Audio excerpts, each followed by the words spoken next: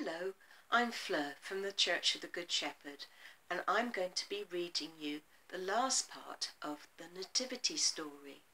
And I'm reading it from The First Christmas, and this book is illustrated by Jane Swift and adapted by Marie Birkinshaw. Some wise men from the east had seen a bright new star in the sky and knew it was a sign that an important king had been born. They decided to follow the star to see where it led them. They travelled for many days and nights and eventually arrived in Jerusalem. They thought a king would be born in a palace, so they went straight to the king Herod and asked if they could see the baby. King Herod was surprised to hear the news and very annoyed. He was a jealous man and didn't want another king in his land. He had to think of a way to get rid of the baby. I'll show you the pictures. There we go. They're the three wise men following the star, and there they are talking to King Herod. King Herod was a nasty man, wasn't he?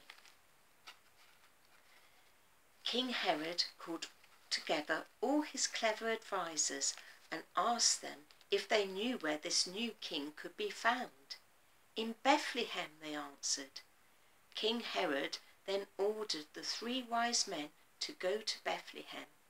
He pretended that he wanted to see the baby too. He told the wise men that as soon as they had found out exactly where the child was, they were to return to, Jer- to Jerusalem to tell him.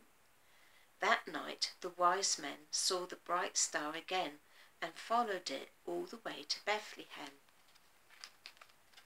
There we go. I'll show you the pictures there. That's it. They had a long way to travel, didn't they, the wise men? The star led them to a little house where Mary and Joseph and baby Jesus were now staying. The wise men were overjoyed to see the baby and offered him gifts of gold, frankincense, and myrrh. Mary thought these were very strange gifts for her baby, but she and Joseph were very grateful and thanked the wise men. Here we go. So there's Mary and Joseph's new house where they're staying. There's the gifts, the gold, frankincense, and myrrh.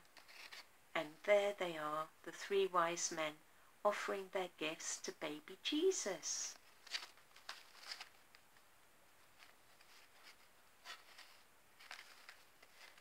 Just as the wise men were about to head back to Herod's palace, God spoke to them and warned them about Herod's plan. So instead of returning to Jerusalem, they went home. King Herod was furious when he realized that the wise men weren't coming back he told his soldiers to search every house in Bethlehem for the child. But Joseph and his family were no longer in the town. They were already on their way to Egypt. God had sent an angel to warn them. Hurry, the angel had said, you must go to Egypt, where you will be safe.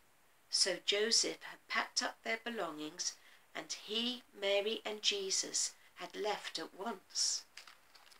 There we go. There's Herod's soldiers searching Bethlehem, but there are Joseph and Mary and baby Jesus on their way to escape to Egypt. Some time later, when they learnt that Herod had died, Joseph, Mary, and Jesus went back home to Nazareth. There Jesus was safe and happy and enjoyed playing with his friends.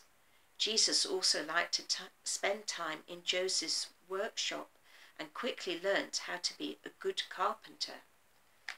As Mary watched Jesus at work, she thought about his special birth in Bethlehem, about the shepherds, Simeon, and the wise men.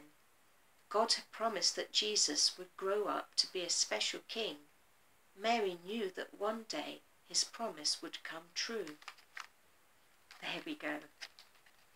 Of course, Jesus was just like you and me, he was a little child, baby, then a child, and playing with his friends. And there he is, learning to be a carpenter like his earth daddy Joseph. Over the years, Mary watched as, Jews, as Jesus grew up to be God's king, not a royal king on a throne, but a leader, teacher, and healer for the world. There we go. There's pictures, all the special, amazing things that Jesus did, and most importantly, that he died on the cross for us. And we remember that at Easter time. How amazing that God has sent his son Jesus to be with us, born in Bethlehem as a little baby, but our Saviour, the light of the world. Bye for now.